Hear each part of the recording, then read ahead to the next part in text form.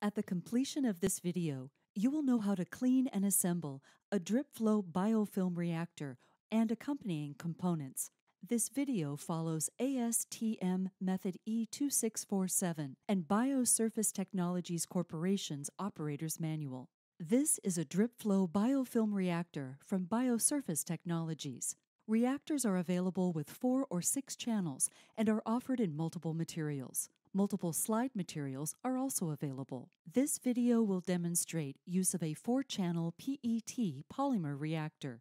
The reactor components are identified in the operator's manual that accompanies the reactor. In brief, the main features of the reactor are the influent and effluent ports, bacterial air vents, and 10 degree angle stand. For the batch phase, the reactor is incubated flat for six hours.